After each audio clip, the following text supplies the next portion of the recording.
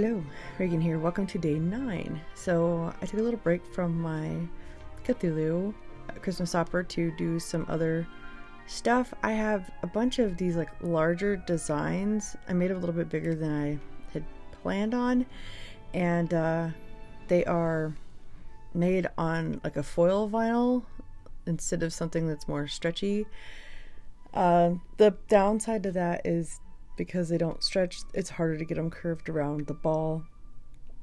With some designs, it still works just fine, but with these, not so much. But I thought, you know what? I'm not going to waste it. I already cut them out and they're going on my tree, so it's fine if they're a little bit like lumpy or not quite exactly like I want them. I mean, I could I could sit down and like make some little cuts with an X-Acto knife or a small pair of uh, scissors and kind of overlap the material so that it would be a little bit better, but they're not they're not terrible. it's not it's not completely bad. I mean, it's really hard for me. I'm a little a little obsessive compulsive when it comes to some things. I mean, that's why I'm like this failing perfectionist and have a filthy desk is because I get so overwhelmed. But I also work better when I'm completely nesting and have a big pile of junk everywhere. it's just how I function. Anyway, but yeah, so I took some of these bigger designs and put them on some Christmas balls just to try some different things and see if I could get them to kind of smooth out. Uh, the star was like the hardest part. It's little, how do I put this? It's armpits. the little indentation parts in the like where it goes in in the middle uh, those were the worst they just kind of folded over and stuck up a little bit but i'm thinking like i said that i might just go in and just give them a little tiny little like snip right there and kind of fold the material over or cut away the excess and it should be just fine and then i got this brilliant idea to put a poinsettia inside of a christmas ball i had to like make it flat because the stems stick up so much in the back on these, but I still wanted the leaves and everything on there. So I just took the poinsettia apart and I cut everything as flat as I could and then squished it all together and hot glued it. And then um, I was looking for something to put on there and I don't think I found anything. It's really bad. It's sitting on my desk. You would think I would know what it looks like, but I'm in my room doing my voiceover right now. So, yeah. Anyway, so I stuck the flower in there and then I just took some tweezers and kind of worked it around and got it in the position that I wanted it so that it would look cute and be the way that I liked. And then after I got it in there and started getting it into position, I thought, oh, you know, I could have put some glitter on this poinsettia because it's going inside the ball and I wouldn't have glitter everywhere because it would be contained inside the ball. So uh, I wasn't gonna like pull it back out of there and go through all of that. So I just stuck some chunky glitter down into the ball with the flower. And I like the way it looks. I think it's cute. Um, I don't hate it. Poinsettia was probably a little bit big uh, for it, but it turned out okay. It's not bad. It's not bad at all. I kind of I kind of like it. I think it turned out cute. Um, I'm still working on these. I'm still like trying to get all this stuff done and like 50,000 other things. But I just wanted to, like I said, make sure that I'm uploading daily and doing the thing and just showing you guys my progress as I work on all this stuff. I also did some glitter on the inside. Now, I have other adhesives that would probably totally work better for this, but the reason why I went with Elmer's glue is because um, I did one already with the Elmer's glue, and it was really cool because I was able to like get it out of it really easily without like scratching up the inside of the ball so that I could reuse it for something else if I wanted to. I don't like permanent stuff for a lot of this type of crafting because I might like decide to change the color that I want on my tree or whatever, you know. I mean, I don't know. I like options and I like cheap and Elmer's glue is really cheap and it works in a pinch, but don't do what I did because I put too much glue and I put a little bit of water and I should have mixed it up separately, but I was like, "Oh, I'll just do it in there." And then I put this one is supposed to have two different colors of glitter in it. That was the idea. So, cuz I just had this little bit of glitter so I put that in there and then I put some white. This, these aren't dry yet, so I don't know exactly how good or bad they turned out. I'll have to show you once they're dry uh, tomorrow because they uh, weren't dry at the time of me doing this voiceover. So we'll check on them again tomorrow and I'll give you an update and show you pictures of all of them. I'll also post some stuff over on my Instagram once I get them done, and you can see for yourself how they how they turned out. But I put some snowflakes on here because I had some snowflakes once again that I had cut out. These were the perfect size, and I think they were two inches, maybe a little less. Uh, but they turned out great. There was a couple spots that I put them down wrong, but uh, if it if the design doesn't have a big base footprint, you can kind of get it to work its way around. Now, like I said, if I used vinyl, like regular vinyl, um, it wouldn't be so bad because it's stretchy.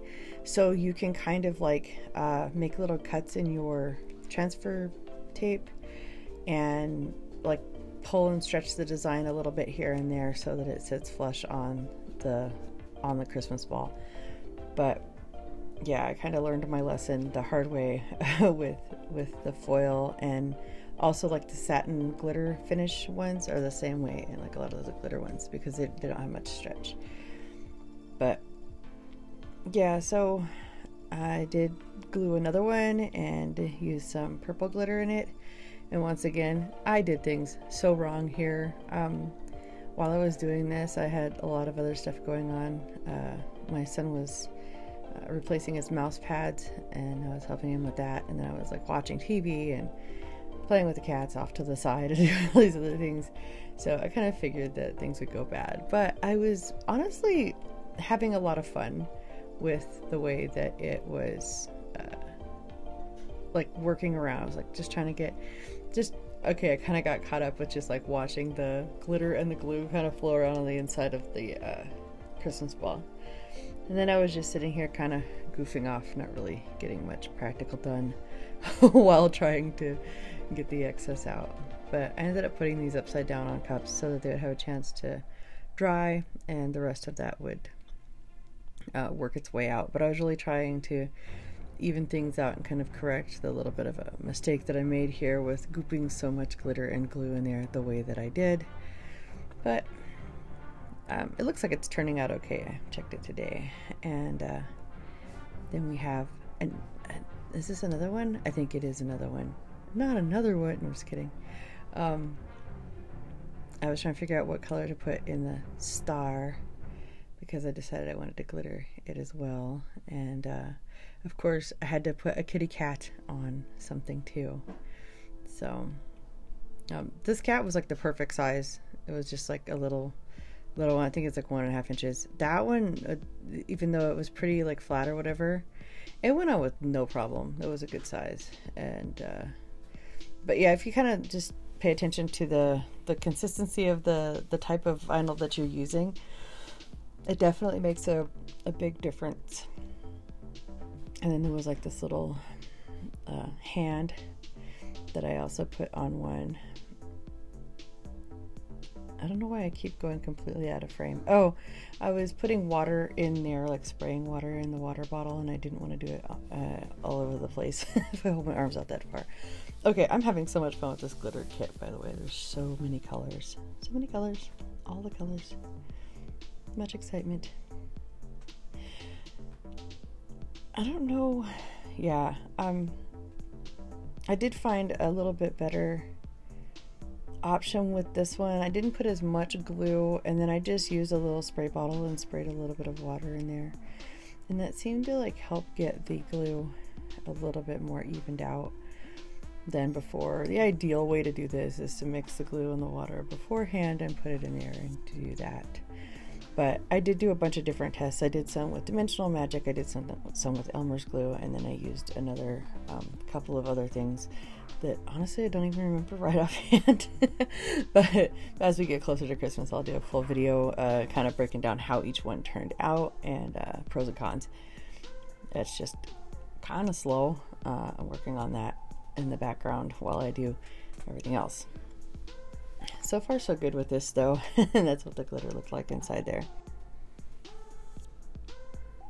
I really, really enjoy putting the glitter and glue in though. It's a lot of fun. It really is. Uh, the really important part is to make sure that your glue layer is thin enough on the inside so that you don't get like it does a weird thing. It's like little ripples, like waves of uh, glitter. If you put the glitter in and you've got uh, too much glue, it kind of runs weird and looks really, really strange. So, uh, what I did to save this one was after it got mostly dry, I threw a little bit more uh, glitter in there, and that seemed to really work well. It looked really, really pretty.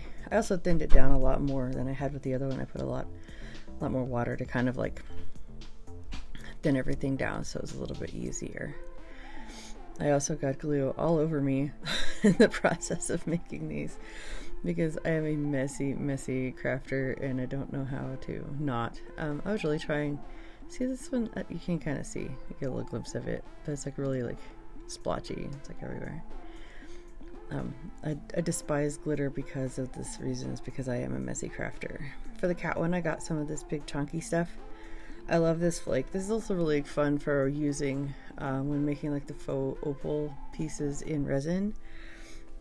Um, uh, who is it? Oh, it's Turtle Soup Beads. I think is the YouTuber that I watched that makes those really like cool, uh, like fake opal cabochons and stuff. And she uses something that's very similar to this. A product that looks very similar to this. Um, and it's just big chunky pieces of like acetate that are like the the like shimmery rainbow color. Absolutely love it. I can't wait to show these off once they're all done. Like I said, I did this and I have to wait for everything to dry. So uh, there's no like. I, am sorry, it's two videos in a row that I don't have a big final reveal. My apologies, but they're coming. So you better subscribe so that you can come back and see what kind of a mess I've made of myself, my life, and my crafts. No, um, anyway, but yeah, lots and lots of fun, honestly. Um, afterward, I took some tape and got as much of the glitter off of my desk as I possibly could because, oh, uh, lint rollers work really good for this too because I don't like finding glitter like a month later. Anyway, thank you for stopping by. I will see you tomorrow with some more Cthulhu and uh, the finished product of all of this mess that I made today. Talk to you later. Bye.